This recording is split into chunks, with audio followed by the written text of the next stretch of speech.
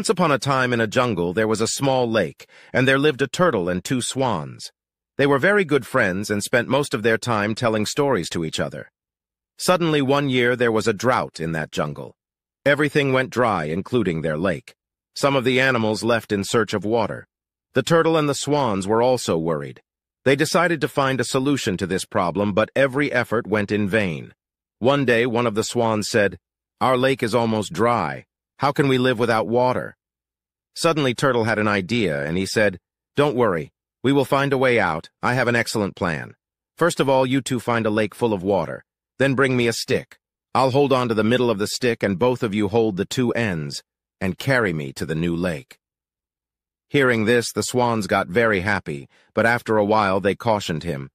Your plan is too good, but while we are flying, take care that you should not open your mouth. Otherwise you will fall down and die. The turtle promised to keep quiet throughout his journey. The swans found the lake and came back to the turtle with a stick. They said, Now you catch hold of this stick so that we can go. Carrying the turtle, the swans flew away to a new place.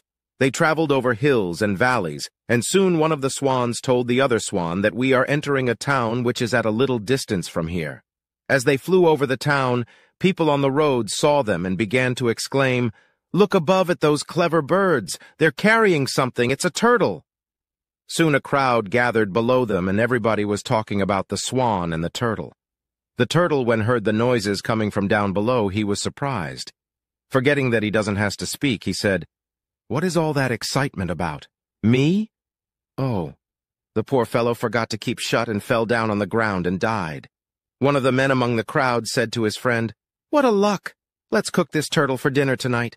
Turtle meat tastes very delicious. The swans were very sorry for their friend, but they couldn't help it out, so they flew away to their new location. Moral, those who do not act upon the advice of their well-wishers always meet with a miserable end.